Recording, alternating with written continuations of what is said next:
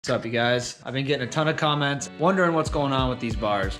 People ask me, are they aftermarket? Where did I get them? Did I adjust them? You know, what's what's the deal with these things? So today I'm gonna show you an easy trick. You can do it in under 30 minutes with a few bare essential tools. And I'm even gonna throw in a couple of secret tips to get this done nice and easy without much struggle at all. If you have been watching my YouTube channel, eventually I'm gonna be getting the Kraus setup on this bike. Um, but honestly, after I made this adjustment to the bars, it's really the only thing keeping me from spending a small fortune on bars. So I definitely am still gonna go with the Kraus setup. I'm gonna have a how-to video on that coming up.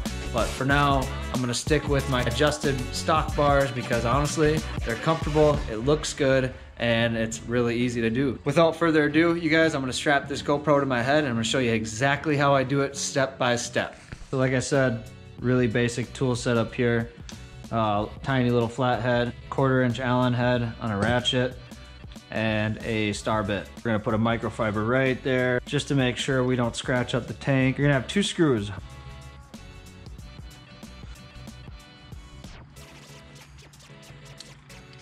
All right, so guys, this is a little tip. They might tell you to just try to take this piece off while this is on there. It makes it really difficult. Not only that, I think this is like a $60 piece. So we're just gonna put the key, So it in there, we're gonna push it down like as if you were locking the bike and you're gonna turn the key to the left. Keep that key in there, and what's gonna happen here is this whole thing's just gonna pop right out. My suggestion is you just keep that key in there, but you don't have to. I'm gonna take it out right now. And I'm gonna show you guys how to get this back in there.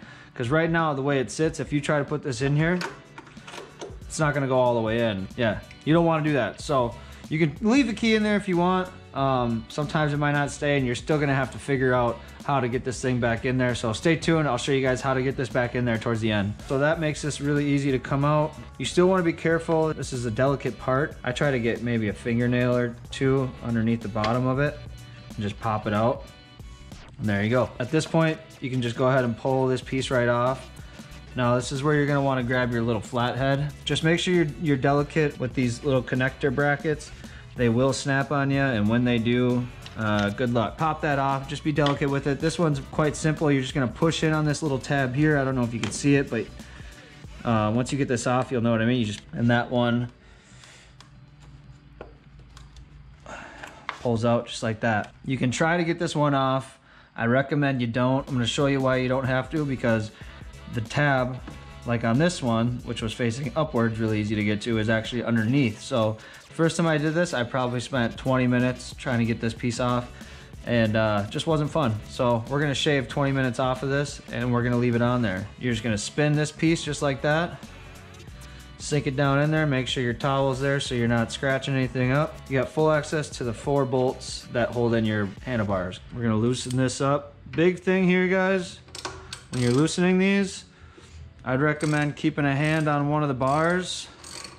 One hand on the bar one hand on the ratchet while you're doing this because if you loosen these things up and you don't have anything holding these bars it's gonna come crashing down, it's gonna scratch your tank, it's gonna scratch your fairing. You don't want that, right? I already got them pretty close, so we're gonna leave it like that.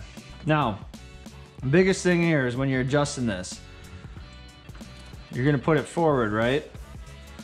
There's a little tab underneath here that's gonna wanna keep it from moving forward. You just gotta loosen up this plate just enough so you can sneak it by.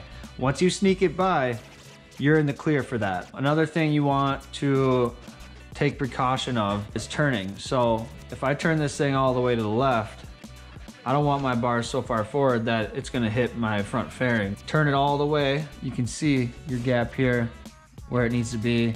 That's looking pretty good right there for me. I'm gonna tighten it just a little bit so I can get a good reference point of where it needs to go. Now that you've figured out your tolerance here on your bars, you got them kind of in place, just wanna make sure that they're lined up straight. You can look in here where your harness actually runs through. You can check those gaps. I'm just gonna eye it.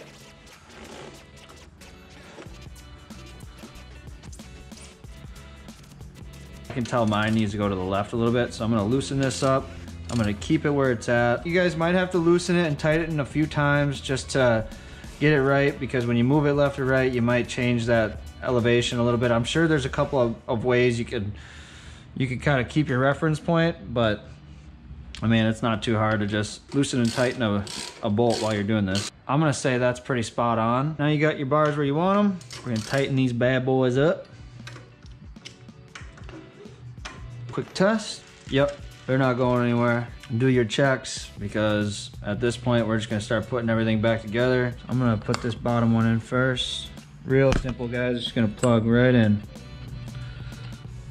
Same thing with this. Pops right in, good to go. You don't gotta worry about that other one. Like I said, make sure you're delicate with this piece. I like to slide it in kind of a little bit here. And then you can kind of put your finger down in there and just pop it in. Done. All right, so remember what I said, you guys. If you try to put this in there right now as it sits, you're gonna have a hell of a time because it's not gonna work. What you're gonna wanna do is push in this little knob, this little tab right here. You're gonna wanna push that in. You stick your key in there and then you can turn it to the left. So your key is essentially gonna sit perpendicular to your ignition switch um, past the unlock portion of this. That's how you know you did it right. That's gonna allow you to push it in all the way. So we're just gonna get this lined up. Make sure you keep your spring in there. You can kind of see in this hole how the key needs to go. Push it all the way down. It pops out. You're good to go. So real simple, you guys just want to be a little gentle doing this. Obviously don't scratch up your bars either. These don't have to be too tight, that's all plastic. You will crack that bezel